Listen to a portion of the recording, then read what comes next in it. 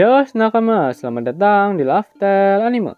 One Piece chapter terbaru yaitu chapter 1097 pastinya sudah dinantikan oleh para opler.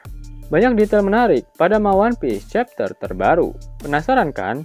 Eits, sebelum kalian menikmati bobanya, eh, videonya, jangan lupa klik tombol like-nya ya.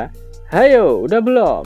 Like dari kalian akan menambah kesegaran dari boba-boba uhui yang akan kalian santap setiap harinya. Dalam One Piece chapter terbaru, meskipun sosok dari roti sobek tidak diperlihatkan, namun kita diperlihatkan bagaimana sifat dan tingkah yang dimiliki oleh Rocks. Di mana jika diperhatikan lebih seksama, sifatnya sangat mirip dengan si Bakasencho kita, Monkey di Luffy. Saat perang di God Valley, Rocks terlihat gerasak gerusuk.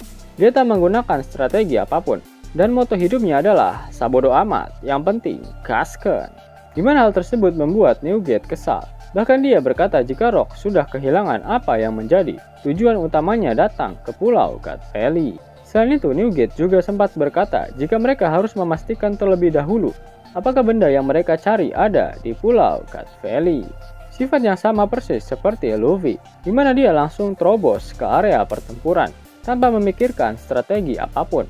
Walaupun ada strategi sekalipun, ujung-ujungnya akan ambiar ketika suara Gomu Gomuno terdengar. Selain itu, Rox memanggil Angkatan Laut dengan sebutan Lucy Marine, alias Angkatan Laut Burik.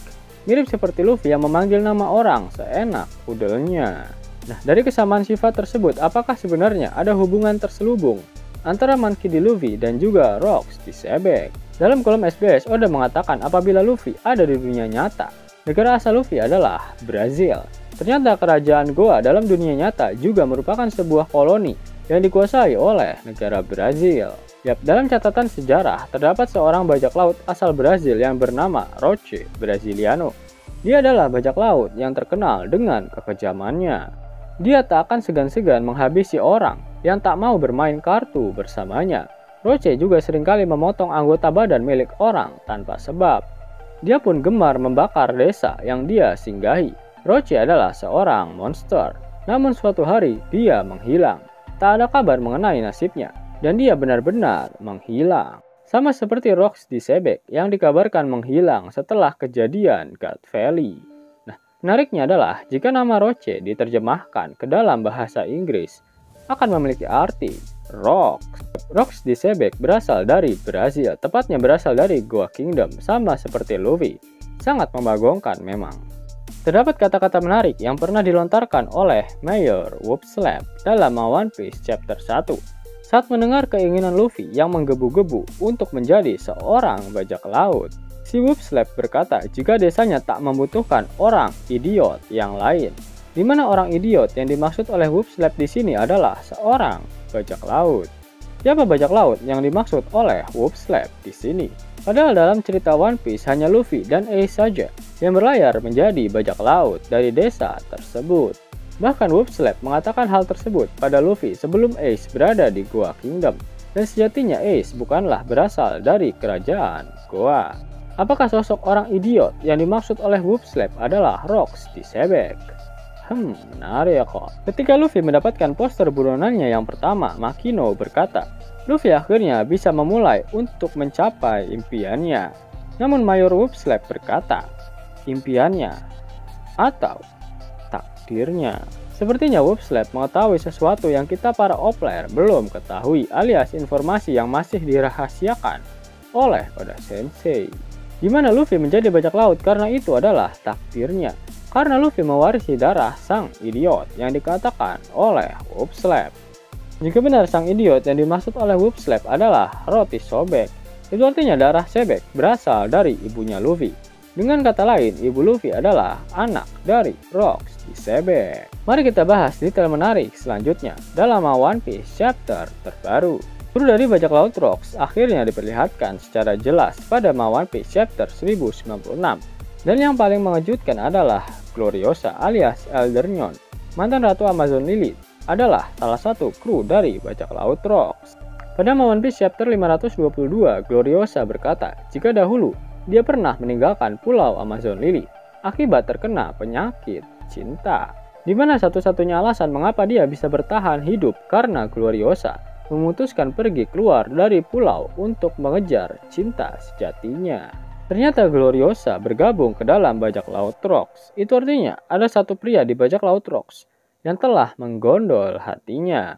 Yap, kalian jangan kaget jika ternyata Gloriosa adalah ibu dari Yamato. Dengan kata lain, dia merupakan partner mantap-mantapnya, Kaido. Kaido adalah sosok yang kejam dan istrinya pasti bukanlah orang sembarangan. Dan alasan mengapa Gloriosa jatuh cinta pada Kaido bukanlah karena kepribadiannya atau muka tampannya melainkan hal utama yang dimiliki oleh Kaido. Hal utama yang ditonjolkan Oda tentang Kaido adalah kekuatannya. Makhluk terkuat, bajak laut terkuat, kru tertarik padanya karena kekuatannya. Oda menegaskan bahwa di Amazon Lily kekuatan adalah kecantikan. Semakin kuat seseorang, semakin cantik mereka. Ini berarti Kaido dianggap sebagai babang tampan di Amazon Lily.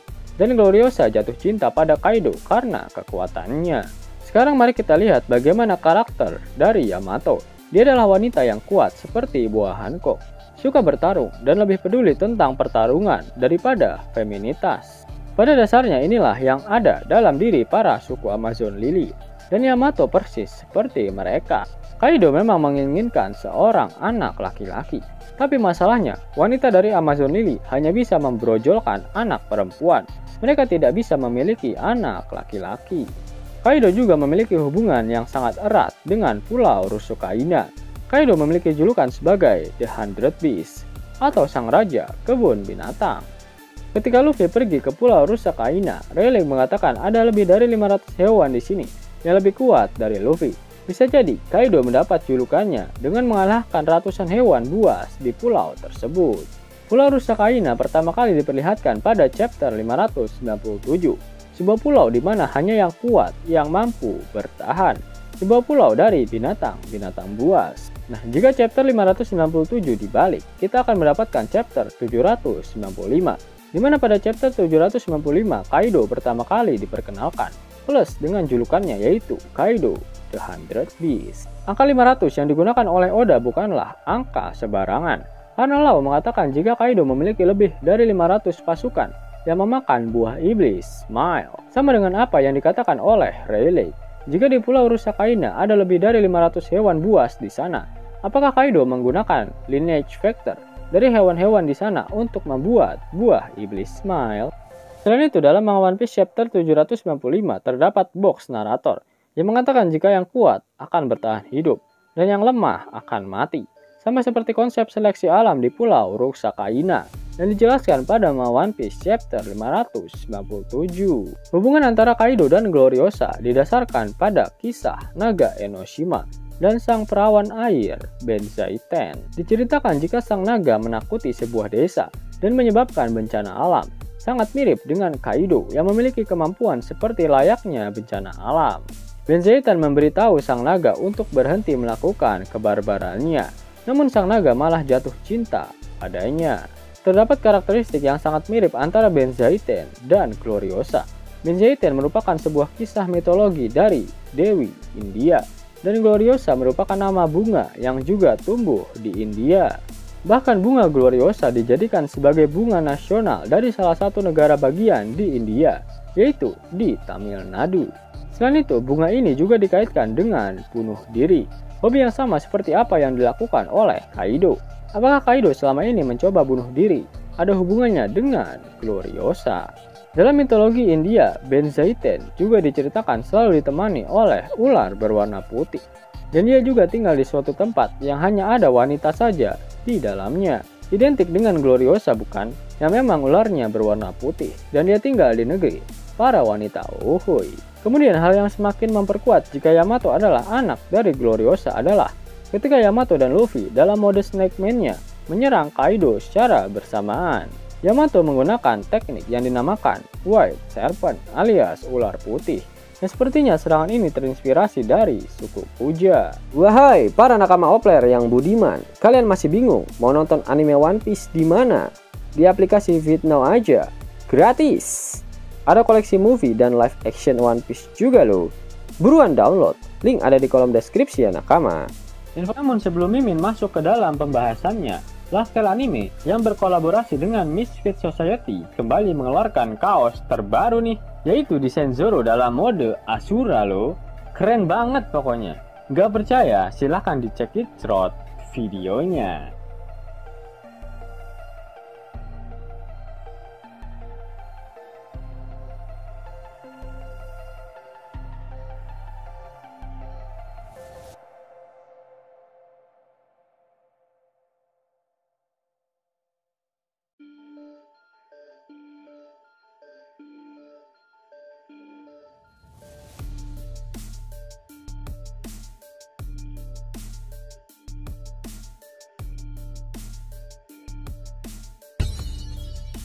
Bagaimana?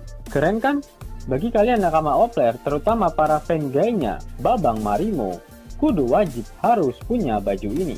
Gaskan, link pemesanan ada di kolom deskripsi. Zeus nakama itulah video mengenai detail menarik pada One Piece Chapter 1096 yang mungkin tidak kalian sadari. Jika kalian menyukai video ini, jangan lupa klik like, share, dan subscribe channel ini ya, agar nakama semua tak ketinggalan info menarik seputar One Piece. Arigato!